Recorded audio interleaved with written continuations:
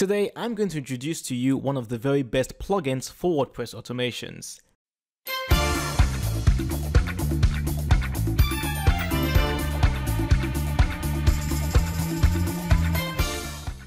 Hello there and welcome back to the Web Monkey Show. My name is Alex. I hope you're staying safe and well wherever you are. Today, we're talking about the Uncanny Automator plugin, and in my humble opinion, this is one of the very best plugins for running automations on your WordPress website. Now, there are two versions of the plugin, the free version and the paid version, but today I'm going to talk to you about the free version because in all honesty, I haven't had time to work with the paid version. But what's interesting is that as of the time of me making this video, this plugin only has 2000 active installations, which in my opinion is a crime because this plugin is really powerful. So the whole idea behind this plugin is that you can create different kinds of automations. Say for example, a user buys a product on your store, you can send them an email thanking them for buying that particular product. Say for example, you've created a new post, you've published it, you can inform all your users, your subscribers about the new post, things like that. So that's the, the general idea behind the plugin. You can create different kinds of automations. Now, it's also compatible with a whole bunch of other plugins. You can see the entire list right here.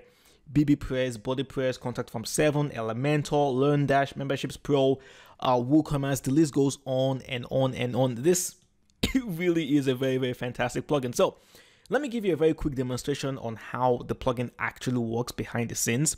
So once you've installed the plugin, you will see Automator right there. You simply go to add new. So you're going to have triggers and actions. The trigger basically would be what should happen in order to start the automation. And then the action would be what should actually be done during the automation. That's basically how the whole thing works. So right now you can see it's telling me to select an integration and you can see all these plugins already, LearnDash, WooCommerce, WordPress, WP Forms, this is because I do have these plugins already installed on my site. You can see I've got LearnDash right here. I have WooCommerce and then I have WP Forms down there. So let's say, for example, we wanted to send an email to a user who buys a particular product on our store. How do we do this? So let's first of all add a title, right? So let's say buy a product is going to be the name of this recipe. And we're going to choose WooCommerce now because we're dealing specifically with WooCommerce, right? So in here, you can see the, the two available triggers. What happens if a user buys a product and what happens if a user views a product? Let's go with purchases a product, right? So the user has bought a product.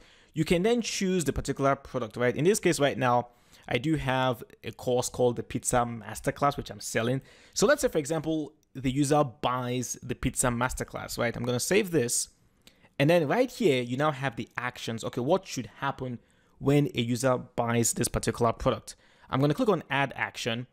And right here, I can do so many things all over again. But we want to send them an email, right? So I'm going to choose WordPress. And then right here, you can see all the available actions. You can create a post, you can create a user, you can send an email. So I'm going to choose send an email. And then right here, I'm just going to say uh, thank you as the subject. And just very quickly, uh, thank you for buying.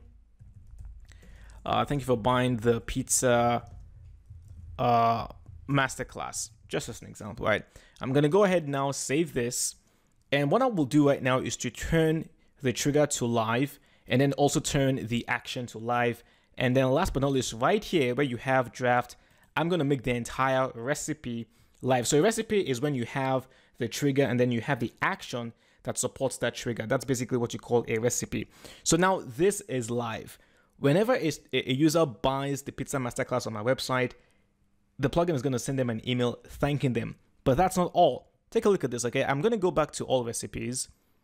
So now that I actually have this recipe called buy a product, check this out, okay? I'm going to create a new recipe and I'm going to say enroll user in course.